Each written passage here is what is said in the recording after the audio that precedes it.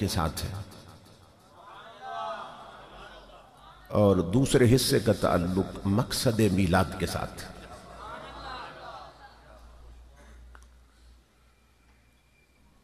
इसलिए कि हमारी मेजॉरिटी और अक्सरियत जश्न मीलाद तो मनाती है, मगर मकसद मीलाद पूरा करने से महरूम रहती है। तो जब तक मकसद मीलाद को पूरा न किया जाए, उस वक्त तक जश्न मीलाद की फिर कोई हैसियत नहीं रहती।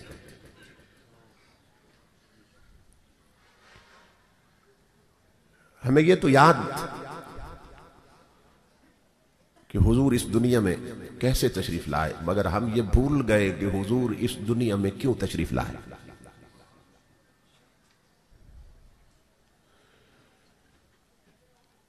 अब इसके दो पहलू हैं, दो एस्पेक्ट्स हैं।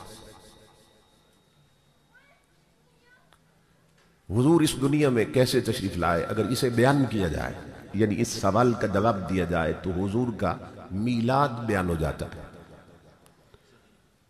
और नबी अकरम सल्लल्लाहु अलैहि वसल्लम इस दुनिया में क्यों तशरीफ़ लाए? अगर इस सवाल का जवाब दिया जाए तो हुजूर की शरीयत बयान हो जाती है।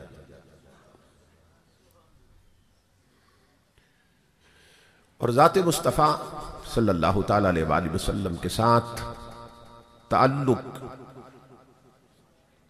शरीयत पर अमल करने से मुस्तक होता है।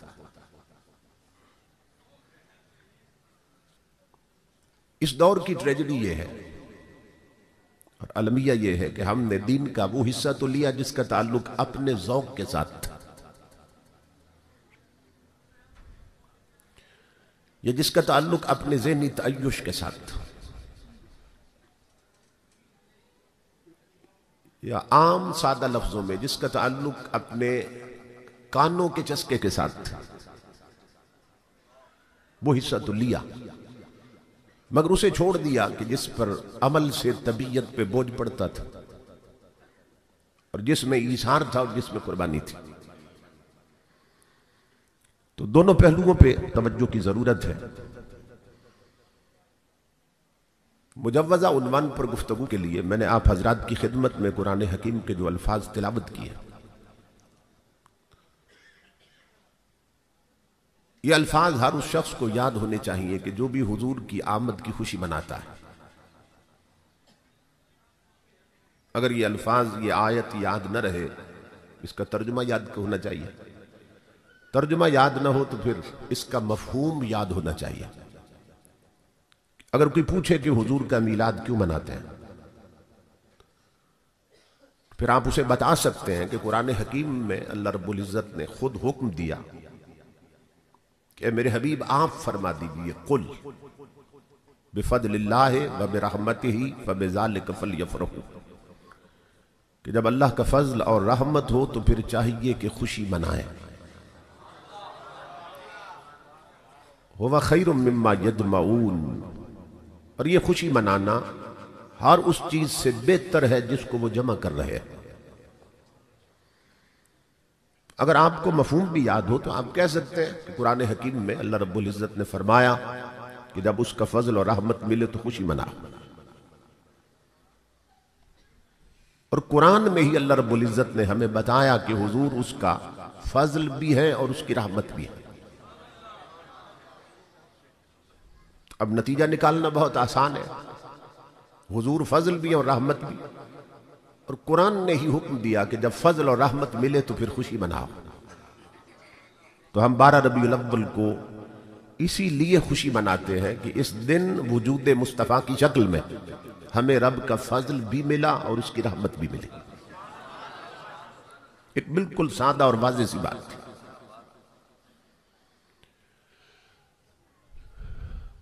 हम जितने भी आमाल सर अंजाम देते हैं और जिनके बारे में हमें ये इत्मीनान होता है कि अगर ये आमाल कबूल हो गए तो हमें सवाब मिलेगा। और नेकी के आमाल हम समझकर उन्हें सरंजाम देते हैं। कि यह काम नेकी का है। और अगर कबूल हो गया तो इस पे सवाब मिलेगा। अजर अता किया जाएगा लेकिन अजर कब मिलेगा जब कबूल हुआ? बात तो कबूलियत की। तो जितने भी अमाल हम सर अंजाम देते हैं, मकबूल होने के एतबार से, कबूलियत के एतबार से उनकी दो किस्में हैं। कि वो अमल मकबूल है? अगर है तो किस दर्जे में? दो किस्में हैं। कुछ अमाल ऐसे हैं कि जो जन्नील कबूल के दर्जे पे हैं। और कुछ अमाल ऐसे हैं जो कतीजुल कबूल के दर्जे पे हैं। जन्नील कबूल उन अमलों को कहते हैं कि जिनके करने वाला यकीन से नहीं कह सकता। कि मेरा यह अमल अल्लाह की बारगाह में कबूल हो गया। ऐसे अमलों को कहते हैं जन्नील कबूल आमाल। जन गुमान को कहते हैं जन। कमाना है गुमान, चूँकि गुमान होता है, यकीन नहीं होता कि ये आमाल कबूल हुए या रद्द हो गए। इस तरह के जितने आमाल हैं, वो जन्नील कबूल है, जन के दर्जा में। और कुछ आमाल ऐसे हैं जो कतीयुल कबूल के दर्जा में कि करने वाले को यकीन होता है कि मेरा यह अमल मकबूल हो गया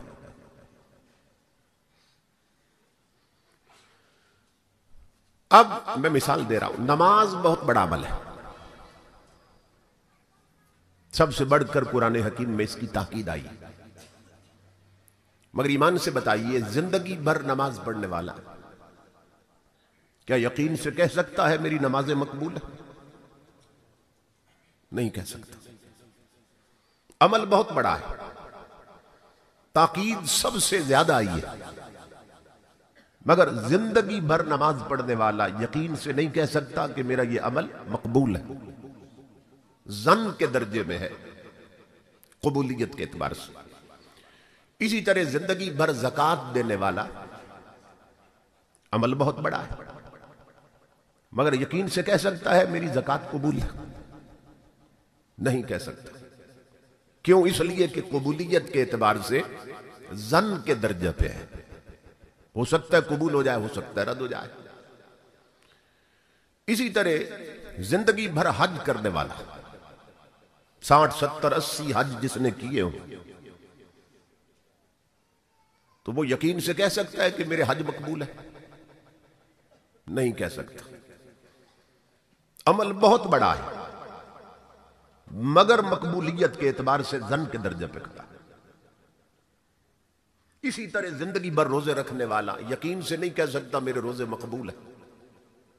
अमल बहुत बड़ा है, मगर मकबूलियत के एतबार से जन के दर्जे पे खड़ा हो। सकता है कबूल हो जाए, हो सकता है रद्द हो जाए। मगर इमाम के गुलामों, दो अमल ऐसे हैं जो कभी रद्द नहीं होते। ये गौर कीजिए, दो अमल ऐसे हैं जो कभी रद्द नहीं होते, जो हमेशा मकबूल होते हैं। वो कौन से अमल है? इमाम अलंबिया के गुलामों नमाजी की नमाजें रद्द हो सकती हैं। रोजेदार के रोज़े रद्द हो सकते हैं। हाजी के हज रद्द हो सकते हैं। जक़ात देने वाले की जक़ात रद्द हो सकती है। ज़िंदगी भर की तबलीग दीन रद्द हो सकती है। पेशानी पे बने हुए सजदों के दाग चुकराए जा सकते हैं। गनी गनी दाढ़ियाँ रद्द हो सकती हैं। बड़े बड़े बनाए हुए मदारिस रद्द हो सकते हैं। मुफ़्त फैलाया हुआ लिटरेचर रद्द हो सकता है। बड़े बड़े शेखुल कुरान और शेखुल हदीस मरदूद होके मर सकते हैं। मगर अल्लाह की इज़्ज़त की कसम, दो चीज़ें कभी रद्द नहीं होती। न कमली वाले पर दरूद रद्द होता है, न मुस्तफ़ा का मिलाद रद्द होता है।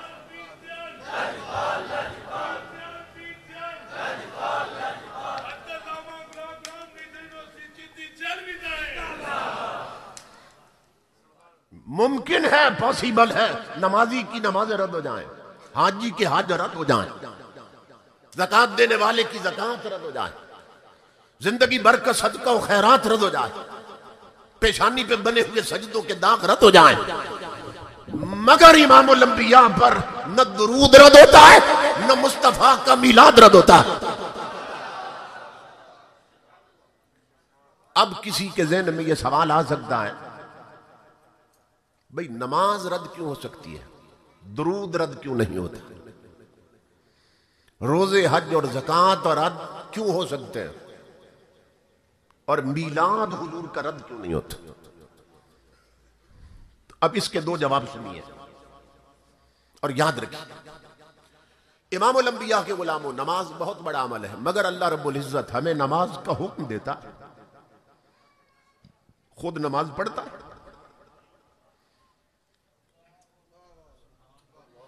बहुत बड़ा अमल है नमाज़। मगर अल्लाह हमें हुक्म देता है, साढ़े सात सौ बार खुद नमाज़ पढ़ता नहीं पढ़ता। जक़ात बहुत बड़ा अमल है।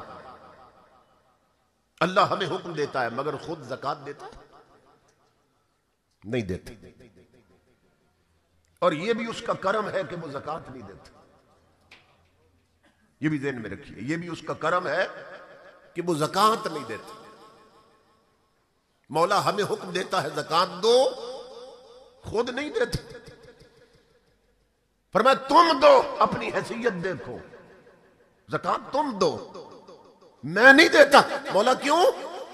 पर मैं नादान जक़ात हिसाब से दी जाती है। जक़ात दी जाती है हिसाब से। वो हिसाब से तू दे। मैं रब्बे मुस्तफ़ा हूँ। मैं यार के गुलामों को बेहिसाब देता हूँ।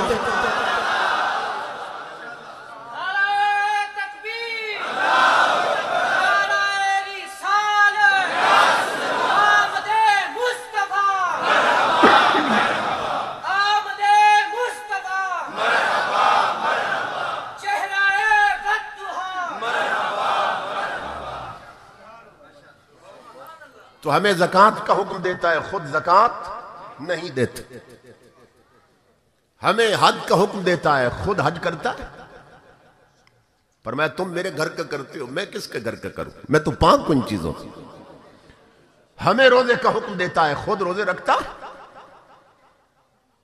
खुद शहरी और इफ्तारी से पाक, खाने और पीने से पाक। मगर वो जात जानती थी उसका इल्म हर जमाने पे मुहित। उसे खबर थी एक वक्त आएगा, बंदों के सीने में अरमान तड़पेंगे, कि मौला कोई अमल तो बना देता, तू भी करता, हम भी कर लेते। हमारे लिए बड़े फख्र की बात होती, कि आज हमने वो काम किया जो हमारा रब भी करता। तो फिर आवाज़ आने लगी, उम्मत मुस्तफ़ा, नमाजें तुम पढ़ो, मैं नहीं पढ़ता, रोज़े तुम रखो, मैं नहीं रखता। आज तुम करो, मैं नहीं करता।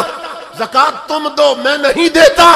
अगर मेरे साथ किसी अमल में मिलना चाहते हो तो फिर ऐसा करो, मेरे यार पे दरूद तुम भी पढ़ो, मैं भी भेज रहा हूँ। यार का मिलाद तुम भी करो, मैं भी मना रहा हूँ।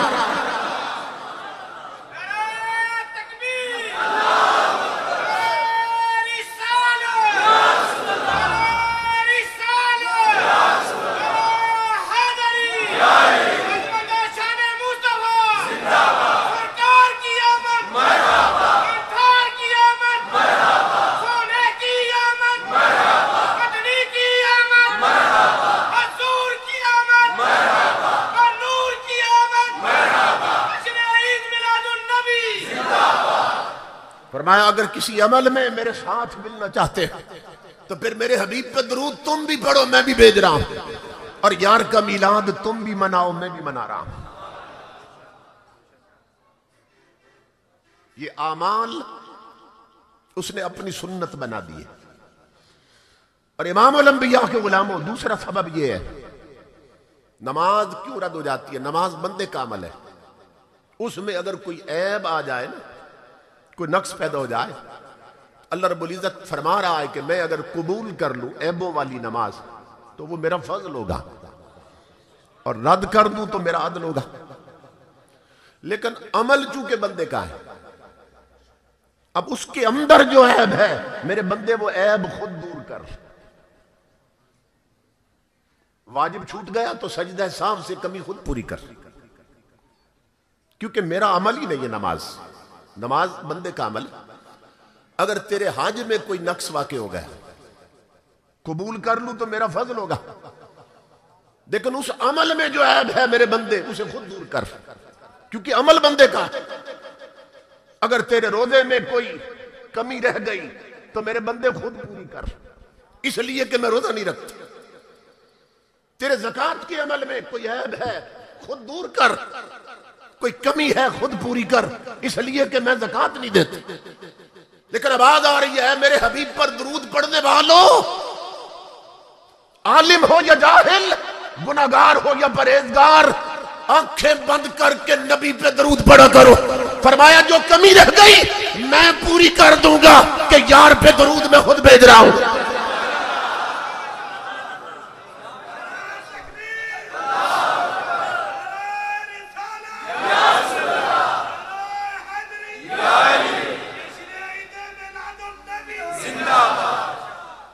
और गरीबों, गुर्बत का बहाना बना के यार का मिलाद छोड़ न देना। का मट्टी के टूटे हुए चराग मिल जाए, वही जला दो। जो कमी रह गई, मैं पूरी कर दूँगा कि यार का मिलाद मैं खुद बना रहा हूँ। समझ रहे इमाम उलंबिया पर दुरूद वो अमल है जो कभी रद्द नहीं होता। और ताजदार कायनात का मीलाद वो अमल है जो कभी रद्द नहीं होता। बल्कि सैदना फारूक आज़म रज़ी अल्लाह तु जो मुराद रसूल भी हैं और दामाद बतूल भी हैं।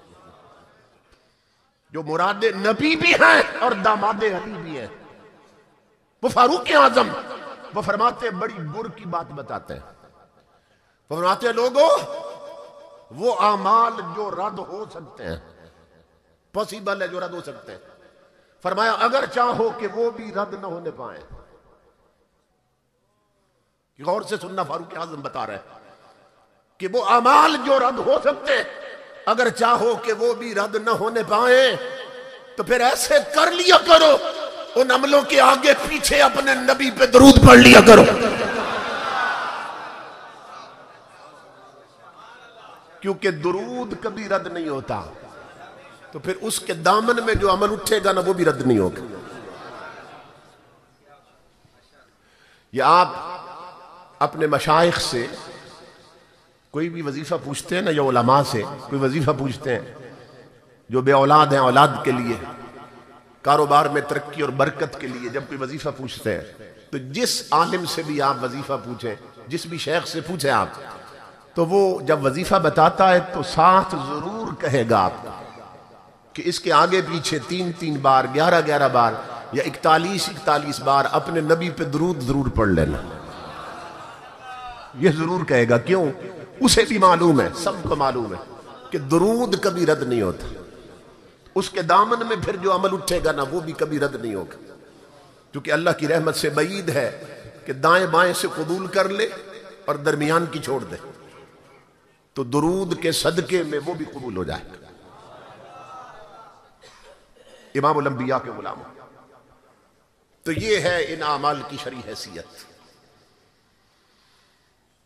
अब चूँकि माए बहने बेटियाँ भी तशरीफ़ फरमा है और फिर खिताब का रुख अब बदलने वाला है आगे चल के। अब मकसद मीलाद की तरफ़ मैं जा रहा हूँ। एक तरबियती बात दरूद के हवाले से अर्ज़ करने लगा एक किताब है दलाइल खैरात शरीफ, जो शुरू भी दरूद से होती है और खत्म भी दरूद पे होती है। और चिश्तिया सिलसिले के जितने औलिया हैं, बिलखसूस चिश्तिया सिलसिले के, दीगर भी करते हैं। तो वो वजीफे के तौर पर उस किताब को सुबह पढ़ते हैं। उसकी मंजिल मुकर है। जुमा से शुरू करते हैं और फिर जुमा पे ख़त्म हो जाते पूरी किताब ख़त्म हो जाती और हर रोज़ हुजूर पे दरूद पढ़ा जाता है। उसके कुछ हिस्से पढ़े, सात हिस्सों में तकसीम कर दी गए उस किताब के जो राइटर हैं, वो है बहुत बड़े अल्लाह के वली और आलिम हज़रत शेख मोहम्मद बिन सुलेमान अल जजूली रहमत बहुत बड़ी शख्सियत गुजरे।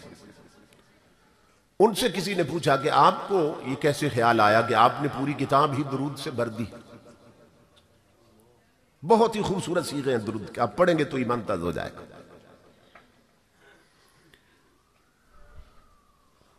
आपकी आँखें अशबार हो गई। आपने फरमाया कि मेरे साथ एक वाकया पेश आया था। वहीं खड़े खड़े फिर मैंने कसम खाई थी कि अब ऐसी किताब लिखूँगा जो सारी अपने नबी पर दरूद से भरी हुई होगी। मेरे साथ एक वाक्य पेश आया था। हज़रत शेख मोहम्मद बिन सुलेमान फरमाने लगे। तो पूछने वाले ने कहा, क्या वाक्य पेश आया था? अब गौर से सुने मेरी माए बहन बेटियाँ। और फरमाते हैं, मैं मिस्र के या किसी भी मुल्क में गया, उसके किसी गाँव में ज़ोर या असर की नमाज़ पढ़नी थी मैंने। और मैं पानी की तलाश में था कि वज़ू करके मैं नमाज़ पढ़ लूँ। तो काफ़ी तलाश के बाद मुझे एक कुआँ मिल गया। एक कुआँ नज़र आया तो मैं उस कुएँ पे पहुँचा कि पानी निकाल के वज़ू करके नमाज़ पढ़ता। आप फरमाते हैं कि मैं जब कुएँ पे पहुँचा तो देखकर परेशान हो गया कि वहाँ डोल और रस्सी नहीं थी। अब इधर उधर देख रहा था कि पानी अब कैसे निकालू? इतना गहरा कुआँ है, पानी कैसे निकालू? आप फरमाते हैं, मैं इसी परेशानी में था। अब मेरी तरफ़ देखिए, आप फरमाते हैं कि ये कुआँ था तो कुएँ के साथ जुड़वा किसी गरीब का कच्चा सा घर था। किसी गरीब का कच्चा सा घर था, जुड़ा हुआ था कुएँ के साथ, दीवार के साथ ही कुआँ था। उस घर की छत पर सात आठ साल की बच्ची खेल रही थी। ये मेरी माए बहने बेटियाँ और बच्चियाँ सुने कि कभी उनका मकाम क्या था। सात आठ साल की बच्ची खेल रही थी। उस बच्ची ने खेलना छोड़ दिया और मेरी तरफ़ देखा और मुझे कहने लगी, मन अनता, कौन है आप? और क्यों परेशान है? तो मैंने कहा ना मोहम्मद उबन सुलेमान अल जजूली अपना तारुफ कराया। कि बेटी, मैं मोहम्मद बिन सुलेमान अल जजूली इनके नाम का डंका तो पूरे मिस्र में बज रहा था ना। हर कोई जानता था, मोहम्मद बिन सुलेमान कौन है? तो बच्ची ने कहा कि, चचा, आप क्यों परेशान खड़े हैं? तो मैंने कहा, बेटी, मैंने वज़ू करना है, कुएँ पे आया हूँ, यहाँ डोल और रस्सी नहीं है तो अब परेशान हूँ कि पानी कैसे निकालू? तो कहते हैं, मेरी इस बात पर बच्ची हंस पड़ी। और बड़ा फसी जुमला कहा अरबी में बच्ची ने। बड़ी फसी और बलीग बच्ची थी। फरमाते हैं बच्ची मुझे कहने लगी अंतल्लदी युसना अली कल खैर अंत तहयर बिमा बेर। कहने लगी, चचा, बड़े अफसोस की बात। बच्ची छोटी सी कहने सात आठ साल की बच्ची। चचा, बड़े ताज्जुब की बात। तेरी विलायत के डंके बस्तियों में बज रहे हैं। तेरी विलायत के डंके बस्तियों में बज रहे हैं। और कुएँ से पानी भी नहीं निकलता। मोहम्मद बिन सुलेमान कहते हैं, मैं समझा कि बच्ची ने मेरी बात ही नहीं सुनी, या इसने समझी नहीं मेरी बात। मैंने बात फिर दोहरा दी मैंने कहा, मेरी बेटी, तू शायद मेरी बात नहीं समझी। पानी बहुत गहरा है और रस्सी नहीं है, डोल नहीं है। तो डोल और रस्सी के बगैर मैं पानी कैसे निकाल?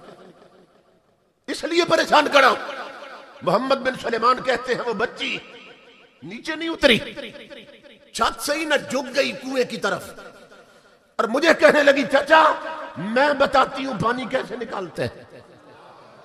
मोहम्मद बिन सलेमान कहते हैं, लोगों, अल्लाह की इज़्ज़त की कसम, उस बच्ची ने कुएँ में थूक दिया।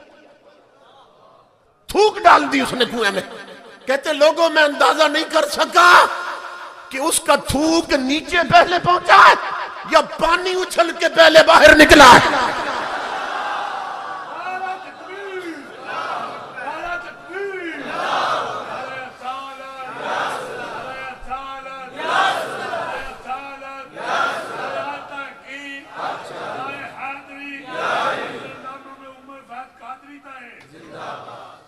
कुआँ फवारा बन गया।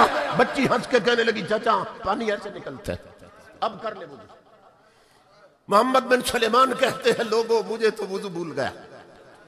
मैंने यूँ हाथ बांधे।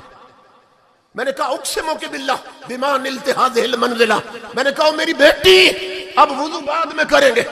पहले मुझे ये बता, इस छोटी सी उम्र में तूने इतने ऊँचे रुतबे कैसे पा लिए? कि तेरे थूक के चंद कतरे कुएँ को मुनकलिब कर देते हैं और इनकिलाब लाते हैं कुएँ में। और पानी उछाल के बाहर निकाल देते हैं।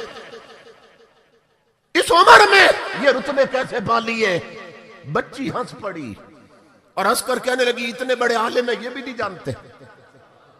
इतने बड़े आलिम हो के ये भी नहीं जानते कि ये रुतबे कैसे मिलते मैंने कहा, मैं तेरे मुँह से सुनना चाहता हूँ। बता मेरी बेटी, इतने बड़े रुतबे कैसे पा लिए? बच्ची कहने लगी, चाचा, फिर सुन।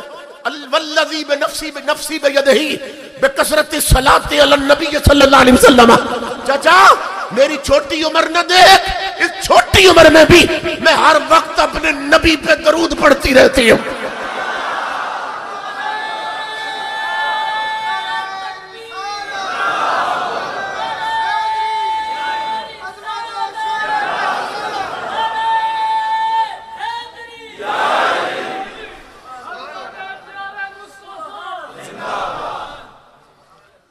चाचा, मैं सहेलियों में खेलती हूँ तो अपने नबी पे दरूद पढ़ती रहती हूँ।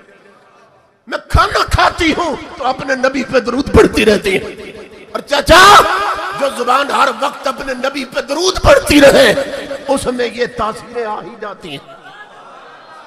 बच्ची कहने लगी, अब कर ले मुझे। मोहम्मद बिन सुलेमान कहते हैं, मैं वज़ू के लिए झुका पानी की तरफ़ वज़ू के लिए झुका, पानी की तरफ़ तो बच्ची ने फिर मुझे आवाज़ दे दी। मुझे आवाज़ दे के कहने लगी, चाचा, जानते हैं वो कौन है? कि जिन पर दरूद पढ़ के ये रुतबे मिलते हैं। फिर बच्ची आवाज़ दे रही, चाचा, जानते हैं वो कौन है? कि जिन पर दरूद पढ़ के ये रुतबे मिलते हैं। मैंने कहा, मैं तेरे लबों के कुर्बान जाऊँ। मैं जानता तो हूँ, मगर लगता है कि पहचानती तू ज़्यादा है। कहा, मेरी बेटी, तू बता वो कौन है? कहते बच्ची ने फिर फूल जाड़े और कहने लगी, चाचा, वो वो है कि इजा मशाफिल बर लकफर नहीं चाचा, वो वो है कि अगर जंगल में भी चले जाए तो वैसी दरिंदे झाड़ियों छोड़कर उसके दामन रहमत से लिपट जाते हैं।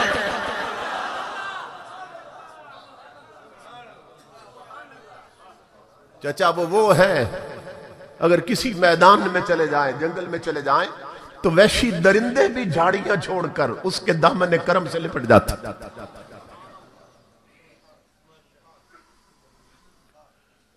मैं सरगोदा में खिताब कर रहा था एक जगह पे। यही वाकया मैंने बयान किया तो कुछ बुज़ुर्ग रो रहे थे। अब भी रो रहे थे। तो बाद में जब मैं खिताब खत्म करके निकला तो वो मेरे सीने लग गए। और मुझे रोकर फरमाने लगे, बेटा, मैं ये सोच सोच के रो रहा था।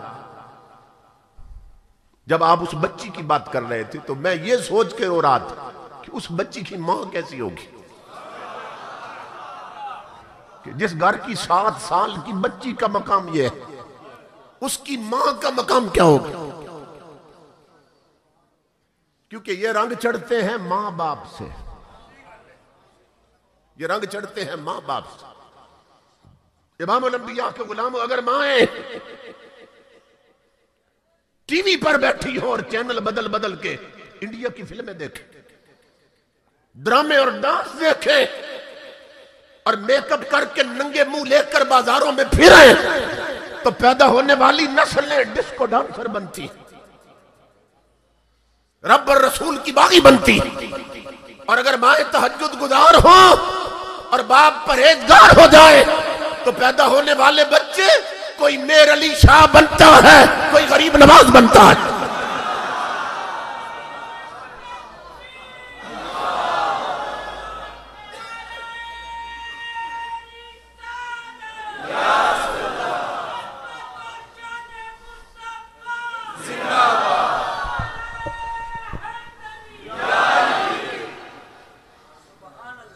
क्योंकि ये रंग माँ और बाप से चढ़ता है।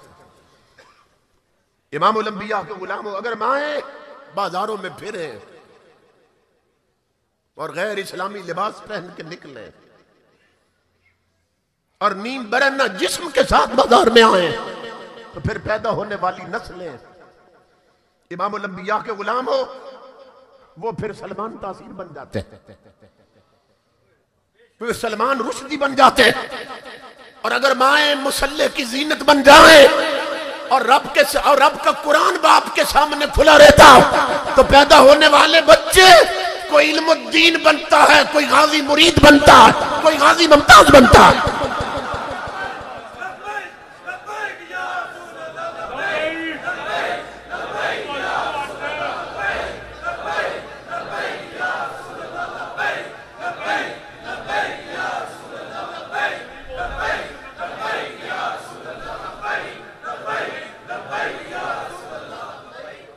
क्योंकि ये रंग चढ़ते हैं माँ बाप की तरफ़ से। ये रंग चढ़ते हैं माँ बाप की तरफ़ और आज माँ बाप ही शरीयत छोड़ बैठे। हैदराबाद दक्कन का स्टेज था। इंडिया में जो हैदराबाद दक्कन है, वहाँ इसी तरह मजमा लगा था। हिंदू औरत तकरीर कर रही थी। उसने दौरान हिताब कहा, मुसलमानों, मुझे एक बात का जवाब दो। कि चौदह सदियों में तुम में सिर्फ़ एक हुसैन आया है, दूसरा हुसैन क्यों नहीं आया? हिंदू औरत ने सवाल कर दिया। कोई नहीं बोला। क्योंकि औरत खिताब करे तो फिर अगली सफों में सब जवान ही होते हैं कोई नहीं बोला। जवानों ने क्या बोलना था? खामोश, वो समझ गई इनके पास जवाब नहीं है। उसने खिताब जारी रखते हुए फिर यही सवाल दोहरा दिया। कहा, मुसलमानों, मैंने तुमसे पूछा था, मुझे बताओ चौदह सदियों में सिर्फ़ एक हुसैन क्यों आया, दूसरा हुसैन क्यों नहीं आया? फिर कोई नहीं उठा।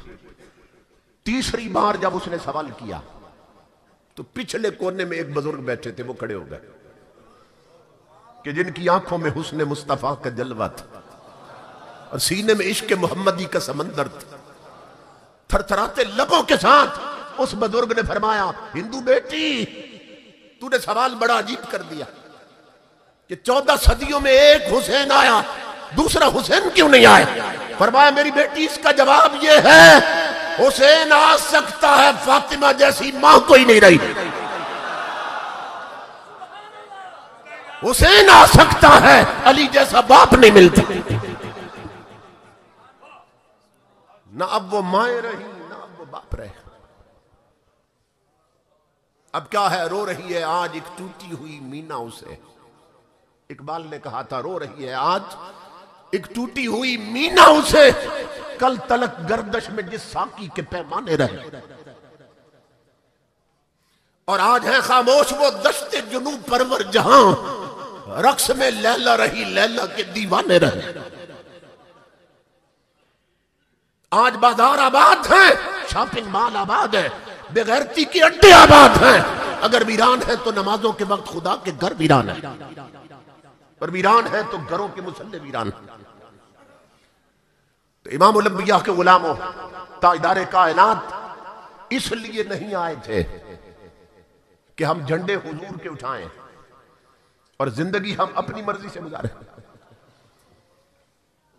कोई जोड़ ही नहीं बनता। सलाम इसलिए नहीं आए थे कि हम जश्न हुजूर के मनाए। और मिशन हम यहूद का अपनाए आका की शरीयत को घर से निकाल दे। हमारे लोग खुश होते हैं और एक दर्जे में होना भी चाहिए। मगर एक एस्पेक्ट पे नज़र है, दूसरी तरफ़ भी देखो। हमारे ओलमा भी खुश हो रहे हैं। भाई, हर साल मीलाद के झंडे बढ़ते जा रहे हैं। मीलाद के बैनर बढ़ते जा रहे हैं। मीलाद का चरागा बढ़ता जा रहा है। इस पे खुश हो रहे हैं। मगर इधर भी देखो कि अगर हर साल मीलाद के झंडे बढ़ते जा रहे हैं तो हर साल हमारी बहु बेटियों के जिस्म के कपड़े घटते जा रहे हैं। अगर हर साल मीलाद का चरागा बढ़ रहा है तो हर साल हमारे माशरे में हमारी बहु बेटियों का फ़ैशन भी बढ़ रहा है। तो फिर झंडे बढ़ाने का क्या मकसद? फिर रसूलुल्लाह के झंडे उठाने का क्या मकसद? अगर घर में बहु बेटियों को लिबास भी मुस्तफ़ा वाला न दे सके और उन्हें पर्दा भी शरीयत वाला न करवा सके तो फिर घर की छत पर ना लेने नबी का झंडा लगाने का मकसद क्या है? मदीने से आवाज़ आ रही है, अगर जमीर के कानों से सुनो। कुरान सुन्नत आवाज़ दे रहा हैं। कि नादान तूने दस गज कपड़े का बैनर बाज़ार में लगा दिया और ऊपर लिखवा दिया, खुशी है अमिना के लाल के तशरीफ़ लाने की। वो तेरी खुशी थी। मदीने से आवाज़ आ रही है, उम्मती, तूने पंद्रह गज कपड़े का बैनर बाज़ार में चौक में लगा दिया। वो तेरी खुशी थी कि तुझे मैं मिल गया, कि तेरा नबी आ गया। वो नादान तेरी खुशी थी कि पंद्रह गज कपड़े का बैनर लगा दिया। अगर घर से निकालते वक्त जवान बेटी को दो गज कपड़े का पर्दा करवा देता तो वो मेरी खुशी थी।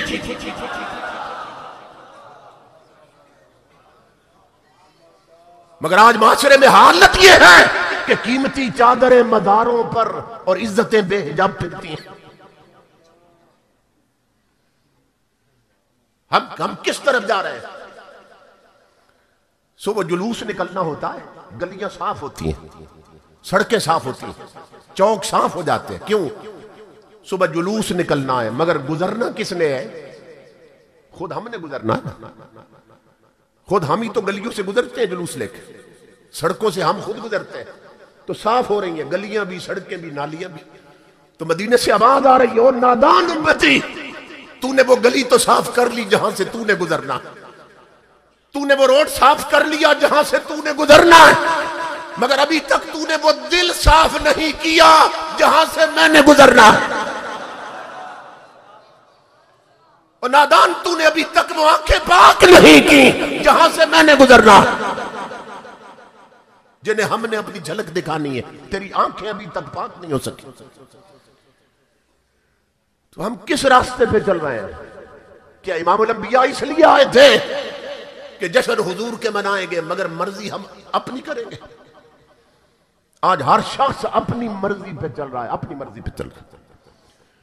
हमारे पड़ोस में हिंदुओं का मुल्क, काफिर कौम, काफिर और मोमिन में क्या फ़र्क होता है? मेरी माए बहन बेटियाँ भी सुने। काफिर और मोमिन में क्या फ़र्क?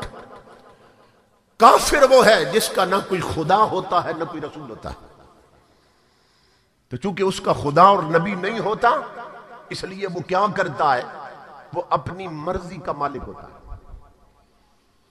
अपनी मन चाही ज़िंदगी गुजारता है, जो काफिर होता है। और कुरान ने भी काफिर की यही अलामत बताई है। फरमाया अराई तमनितखजा इलाहू हवा, कि क्या तुमने उस शख्स को देखा कि जिसने ख्वाहिश नफ्स को ही अपना खुदा बना लिया? कुरान पढ़ रहा हूँ। अल्लाह फरमा रहा है कि जो लोग मन चाहे पे चलते हैं ना भाई, चलना तो रब के चाहे पे चाहिए। मगर लोग चलते हैं मन चाहे पे, जो नफ्स चाहता है उस पे। तो कुरान में अल्लाह फरमाता है कि उसने अपने नफ्स को ही अपना खुदा बना लिया। तो काफिर का ना कोई नबी होता है, ना रसूल होता है, और ना कोई खुदा होता है। उसकी ज़िंदगी कैसे गुजरती है? मन चाहे पे, जो चाहता है वो करता है। और मोमिन कौन होता है? और हम सब मोमिन हैं। कि जिनका खुदा भी है और मुस्तफ़ा भी तो फिर काफिर और मोमिन में फ़र्क क्या है? इमाम उलंबिया के गुलामों काफिर वो है जो अपनी मर्ज़ी का मालिक होता है और मोमिन वो है जो पूरी ज़िंदगी मदीने वाले मालिक की मर्ज़ी पे गुजार देता है। अगर मोमिन भी मर्ज़ी का मालिक बन जाए तो फिर मदीने वाले से कोई ताल्लुक नहीं रहता। क्योंकि काफिर और मोमिन में फ़र्क ये है, काफिर मन चाहे पे चलता है और मोमिन हमेशा रब और रसूल के चाहे पे चलता है। अब बताइए इमाम लंबिया के गुलाम और मेरी माओ बहनों बेटियों, ये सरों से उतरे हुए दुपट्टे, ये हम रसूल के चाहे पे चल रही आधे जिस्म पे कपड़ा और आधा जिस्म नंगा, ये हम रसूल के चाहे पे चल रही ये घरों में चलते हुए टीवी ड्रामे और फ़िल्में और औरतों का ड्रामे की किस्त न छोड़ना और रब की नमाजें छोड़ देना, ये हम रब रसूल के चाहे पे चल रही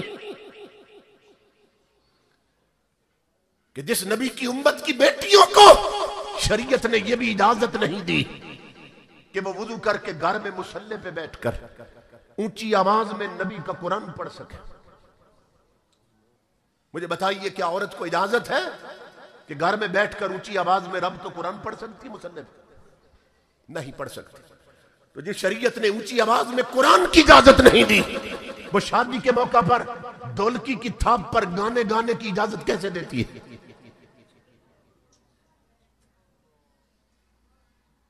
तो इधर देखते हो, इधर भी तो देख। अंजाम गुलामी क्या कहिए बर्बादी सी बर्बादी है। जो दर्श है, बथा ने दिया, वो दर्द पढ़ाना भूल गए। इबरत का मुरक्का ये पस्ती और काबिल हैरत ये मस्ती। औरों को जगाना याद रहा, खुद होश में आना भूल गए। जो दीन हम तक पहुँचाने के लिए मेरे आका ने ताइफ में पत्थर खाए थे। मक्के जैसा वतन कुर्बान किया था। वो दीन आज ठोकरे खा रहा है। कोई उसे गले लगाने के लिए तैयार नहीं घरों का माहौल देखो। इमाम ने फरमाया था, यकून फ़ी अरब फितन। ये इरशादात है, हजूर के गौर से सुनो। मेरे आका ने फरमाया था, मेरी उम्मत में चार बड़े फितने मुख्तलिफ़ जमानों में पैदा होंगे, जो मेरी उम्मत की बर्बादी का सबब बन जाए। और आखिरी बड़ा फितना क्या होगा जो उम्मत को बर्बाद कर देगा? गौर से सुनो। इमाम लंबिया ने फरमाया, वह आखिर हल गिना। फरमाया, मेरी उम्मत की बर्बादी का आखिरी बड़ा फितना। गाना गाना होगा, गाना बजाना होगा। ये मैं हदीस पढ़ रहा हूँ आपके साथ। तो जिस चीज़ को मेरे आका ने उम्मत की बर्बादी का सबब बताया था अब बताओ कौन सा घर है जहाँ गाने नहीं है? किसका मोबाइल है जिसमें गाने नहीं है? कौन सा होटल है जहाँ गाने नहीं है? सुजुकी में बैठो तो गाने हैं रक्षे में बैठो तो गाने और ये गरीब लोग, मजदूर लोग सुबह निकलते हैं रिस्क कमाने के लिए। और सारा दिन तवाइफ और मुगनियात के गाने चलते रहते हैं ऊपर। और हुजूर ने क्या फरमाया? मेरे आका ने फरमाया, मन जलसा इला कई नतिन यसमा मिनहा सुबफी ओजुन हिल आनो को यौमल कियामा. इमाम लंबिया ने फरमाया कि जिसने किसी गुलूकारा का गाना सुना,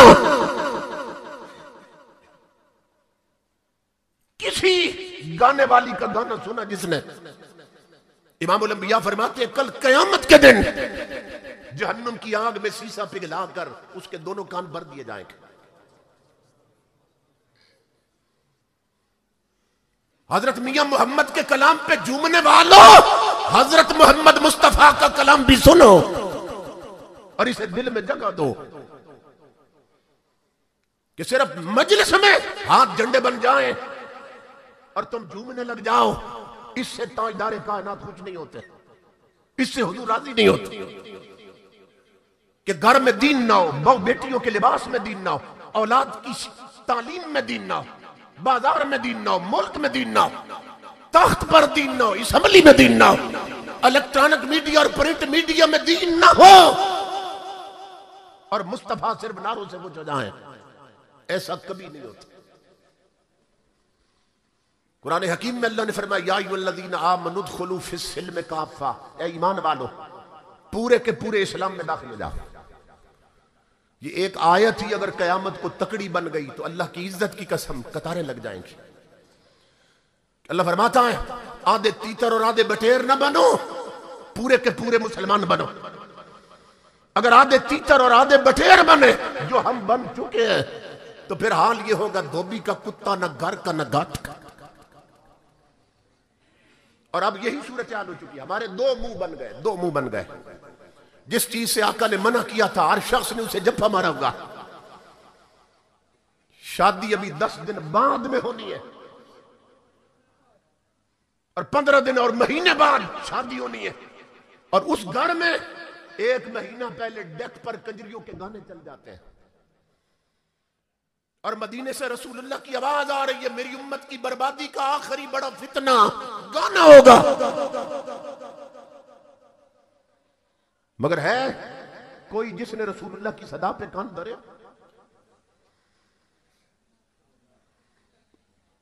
इमाम ने फरमाया, अब ये रक्षे वाले और सुजुकियों वाले सुबह निकलते हैं अपना रिस्क कमाने के लिए, मगर और क्या कमा के आते हैं? ये सुनो हदीस की रोशनी में। इमाम ने फरमाया, सौतान ने मलूना ने फिर दुनिया वाला खेरा मेरे आका ने फरमाया, दो आवाज़ें ऐसी हैं कि जिस जगह से बुलंद हो, ऊपर से रब रसूल की लानत उतरती है। दो आवाजों पर लानत उतरती है। कौन कौन सी आवाज़ें? फरमाया रन्नत निंदा व मिजमार मेरे आका ने फरमाया, जिस घर में कोई फौत हो जाए, किसी की मौत हो जाए तो ऊँची आवाज़ में जब मर्द औरतें चीखती चिल्लाती है, ऊपर से रब की लानत उतरती बेख्तियार जो रोना आता है, उस पर कोई कदगन नहीं है, कोई पाबंदी नहीं लेकिन चीख चिल्ला कर रोना और ये याद रखो, मातम करना और पीटना, ये से उससे भी बड़ा आराम काम क्योंकि तारीख हदीस की सबसे अथेंटिक किताब है बुखारी शरीफ। इसमें इमाम लंबिया ने फरमाया, बात ही यहाँ से शुरू की, फले मिलना। मन जरबल खुदूदा व शक्ल जुयूब। मेरे आका ने फरमाया, जो मुश्किल मुसीबत में मातम करे और अपने कपड़े फाड़े। उस बदबख्त का मेरी उम्मत से कोई ताल्लुक नहीं है। पीटना तो उससे भी बड़ा हराम काम। मगर हदीस बता रही है, जब औरतें जहाँ कोई फौत हो जाए और मर्द चीख चिल्ला कर रोते हैं, ऊपर से लानत उतरती है। और नंबर दो, वह मिजमार इसे गौर से सुनो।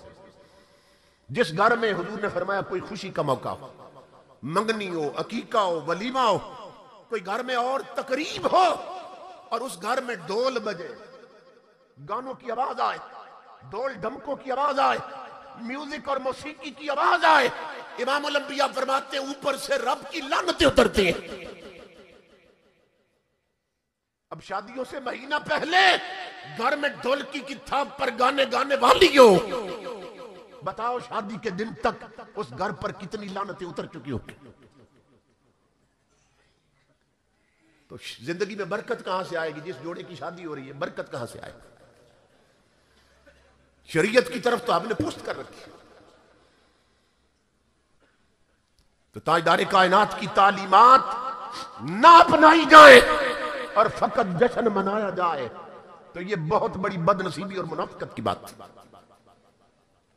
इसलिए आँखें खोलो और इमाम की शरीयत को गले लगाओ, शरीयत को गले लगाओ। अब सारा दिन सुजुकी में गाने चलते हैं, रक्षे पे गाने चलते हैं। और शाम को वो इतना रिस्क नहीं लाता कमा के, जितनी लानतें कमा के घर पहुँचता है। बताओ घर में बरकत कहाँ से आएगी? और इमाम ने फरमाया मंजूर जो औरत बेपर्दा घर से निकलती है,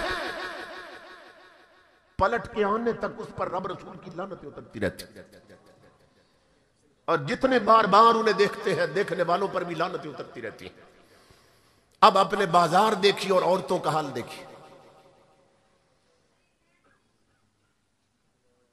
कि शौहर खुद इतने बेगैरत और बेहिस हो गए कि जिन्होंने सिर्फ़ अंग्रेज़ी पढ़ी है। वो तनख्वाह मिलती है तो बीवी को खुद कहता है, बेगम, तैयारी करो, मैंने तुम्हें आज शॉपिंग करवानी है। और उसे मालूम है कि वो तैयारी कैसे करती है। खुद कह रहा है, तैयार हो जाओ। अब वो तैयार हो रही है बाज़ार जाने के लिए। लिपस्टिक लग रही है मेकअप हो रहा है। बाल संवारे जा रहे हैं, आँखों में कजला लगाया जा रहा है।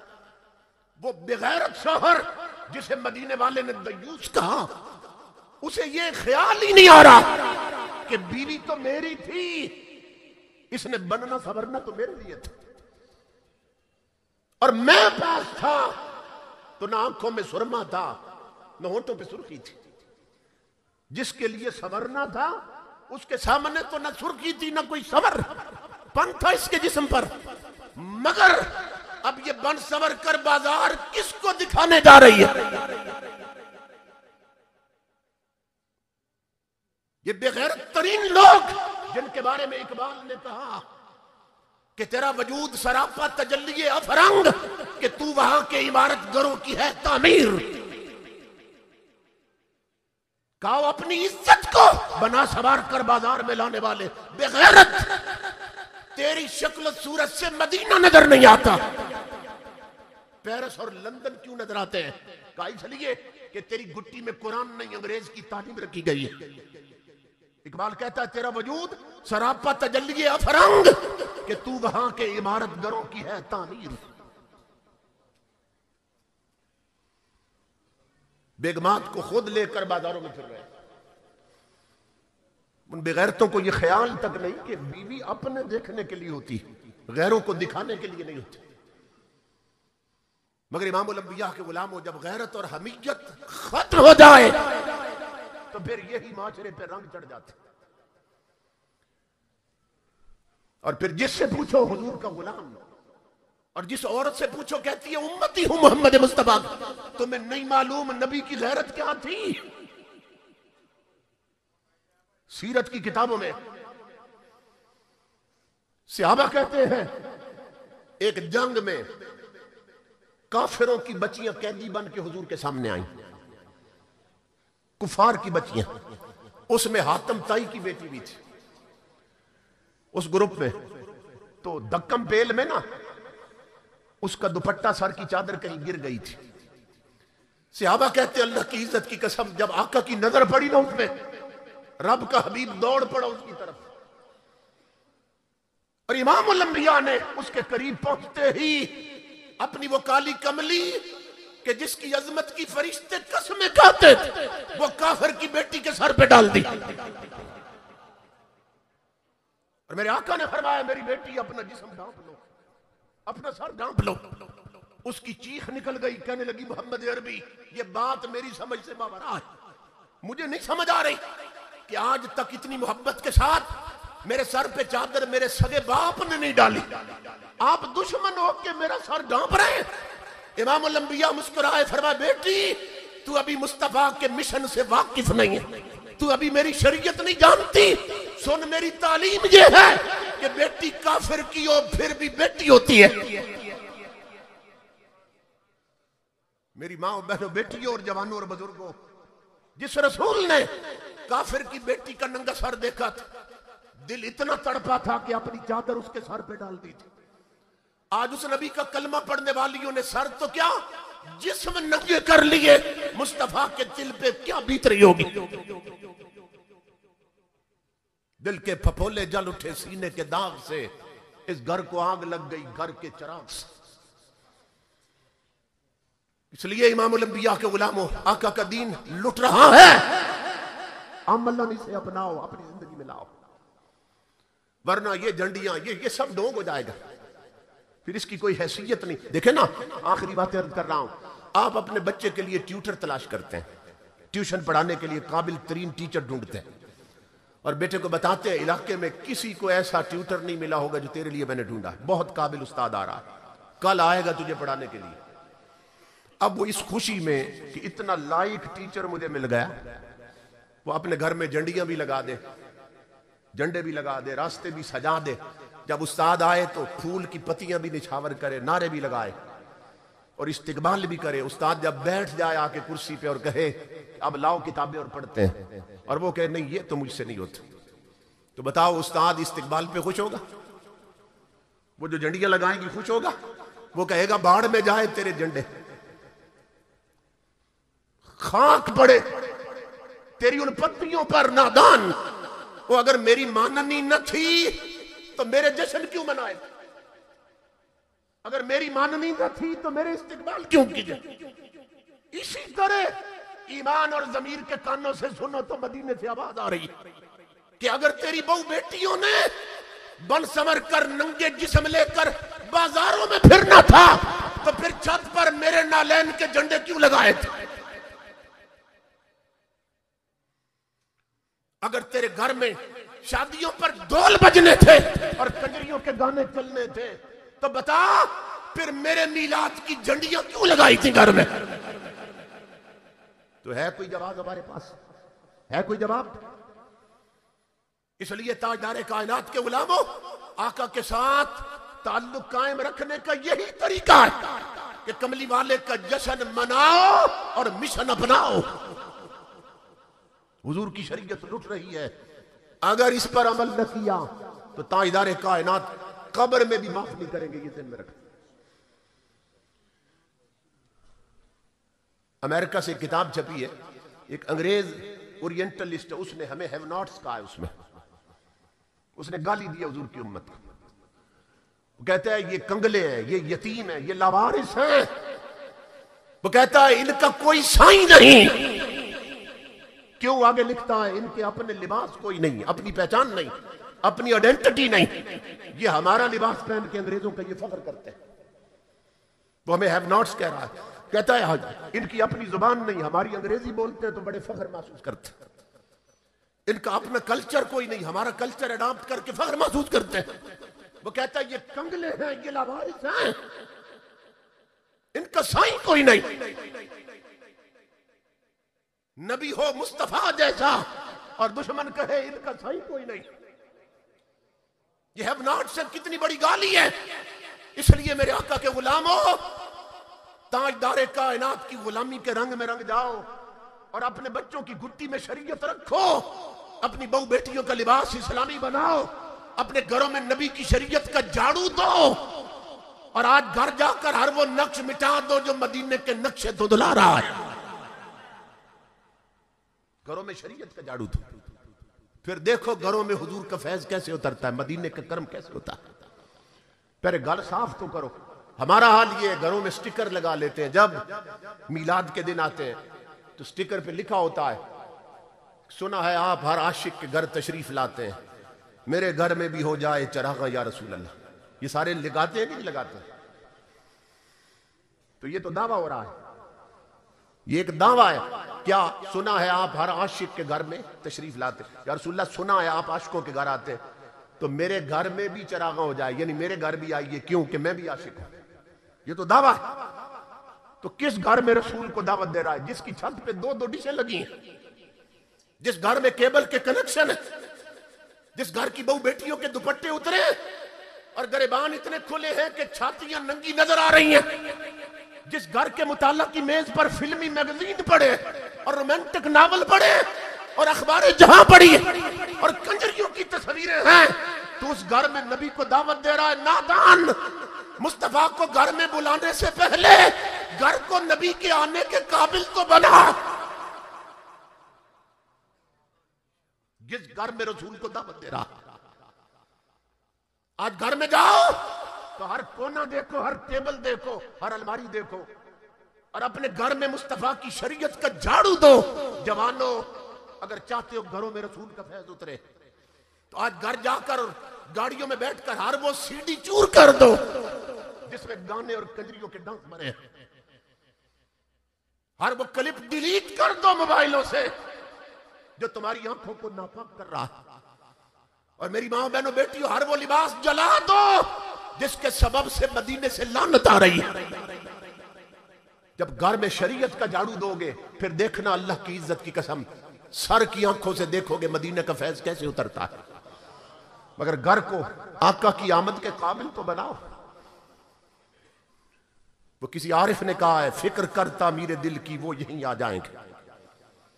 कहा, फ़िक्र करता मेरे दिल की, वो यहीं आ जाएँगे। और बन गया जिस दिन मकान खुद ही मकी आ जाएँगे। तू इस दिल को यार के आने के काबिल तो बना। तू इस घर को महबूब की आमद के काबिल तो बना। जो बना लेते हैं उनका हाल ये होता। मुमताज़ कादरी इसी दौर का बंदा है। पुराने वक्तों का तो नहीं है। हमारा नसीब कि रब ने हमें एक आज के रसूल दिखा दिया। हम पिंडी में हैं और वो पिंडी की जेल में था। हमसे पूछो। अभी सिर्फ़ तीन महीने हुए थे गाजी को। जेल में। हमारे एक आलिम मिलने गए बड़ी अप्रोच के बाद। उन्होंने कहा गाजी साहब, सिर्फ़ इतना पूछने आया हूँ कि जिस रसूल ने पत्थर मारने वालों को दुआएँ दी हैं, तूने तो नबी के नामूस पे जान मारी है। तो बता, मदीने से कोई खैरात मिली?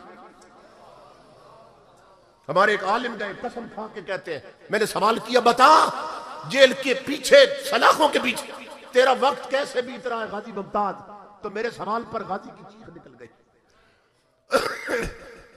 और कहने लगा, मौलाना, कुछ ना पूछिए। अल्लाह की इज़्ज़त की कसम, मैं जब से जेल में आया हूँ, मुझे बारह बार दीदार मुस्तफ़ा नसीब हो चुका है। इमाम लंबिया कब वो गुलाम कहता है, लोगों की नज़र में जेल की कोठड़ी है, मुस्तफ़ा ने मेरे लिए मदीने की गली बना दी। है तो इमाम लंबिया बता रहे हैं, अगर जज्बे साबित हो तो फिर जिस तरह मैं आशकों के घर जानता हूँ, मैं आशकों की जेल भी जानता हूँ। और मुझे मालूम है आशिक कहाँ बैठे हैं, जहाँ हो, वहाँ जाके नवाज़ देते हैं।